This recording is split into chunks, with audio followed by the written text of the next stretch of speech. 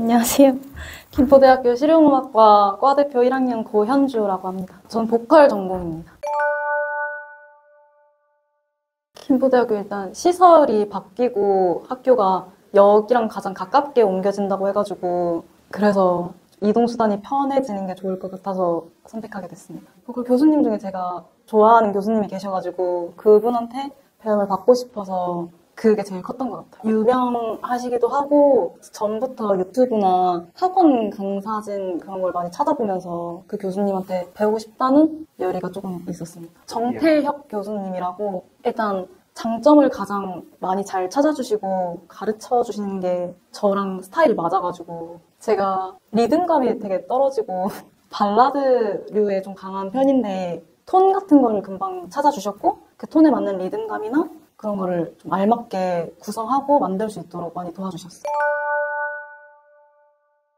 선배들이 사실 나이 또래다 보니까 일단 잘 해주기도 해주는데 어우러질 수 있도록 많이 도와준 것도 있고 일단 학과장님도 많이 도움을 주셔가지고 학교 생활하는데 큰 어려움 없이 잘 지낼 수 있었던 것 같습니다. 1학년인데 제가 선배들이랑 많이 교류가 있다 보니까 3학년 졸업 공연에 1학년이 무대를 4개를 서는 경우가 잘 없다고 했는데 그런 좋은 기회가 많이 생기기도 했고 앞서 했던 김민수 오빠 같은 경우는 이번에 교수님들 추천으로 미스코리아 그 작곡을 하게 되면서 많이 성장할 수 있었다고도 했고 그런 걸 눈앞에서 지켜보는 게 많았다 보니까 그런 게 좀 좋은 것 같아요.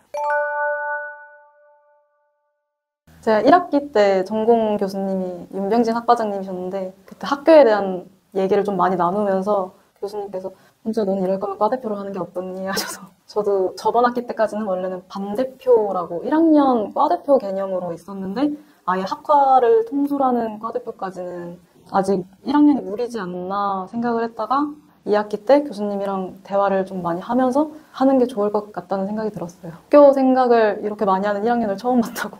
1학년이 지금 코로나 시기를 거친 학생들이라서 사실 저나 다른 나이가 조금 있는 1학년들을 제외하고 20살인 아이들 같은 경우에는 학교 생활에 좀 적응을 못 하더라고요. 그런 것 때문에 교수님들이나 위에 재학 중에 선배들이랑도 교류가 좀 어려웠던 부분이 많았는데 그런 부분을 교수님이랑 조금 얘기를 많이 하고 학교를 애들을 실용음악과는 일단 실기가 위주인 학과이다 보니까 애들끼리 교류가 많아야 되는데 그런 교류를 만들 수 있는 기회가 어떻게 만들어야 하고 어떻게 실행을 해야 될까 이런 얘기를 나누게 되면서 제가 과대표 자리까지 오르는 게 낫지 않나라고 대화를 많이 나눴던 것 같아요.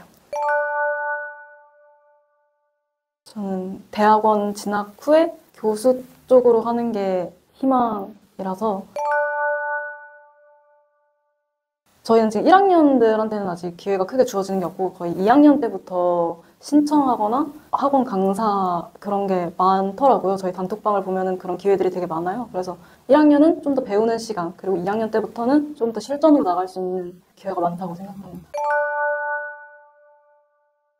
저희 일단 신입생들한테는 최초 장학생들 100만 원이 주어지고 이후에 학기 중에 노트북이 지급이 돼요. 그 노트북이 사양이 괜찮아가지고 과제를 하거나 뭐 저희가 온라인 수업을 하거나 하는데도 크게 문제되는 게 없고 도움도 많이 됩니다. 제가 지금 기숙사 사용을 하고 있는데 최초 합격자 안에서는 기숙사생들을 한 학기를 무료로 들여보낼 수 있게 해줘요. 그런 점이 좋은 것 같아요.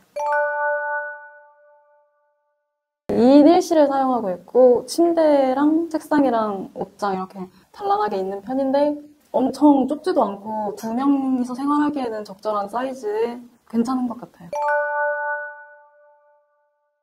제가 어차피 3년 동안 과대표를 할 예정이기 때문에 저희는 선배들이 정말 정말 착하고 다들 이거 도와주세요 저거 도와주세요 하면 정말 다 들어주세요. 그래서 선배들과의 교류에 대해서는 크게 문제될 게 아예 없다고 생각을 하시면 될 것 같고 제가 있으니까 1학년들 많이 챙기고 많이 도움을 줘야죠.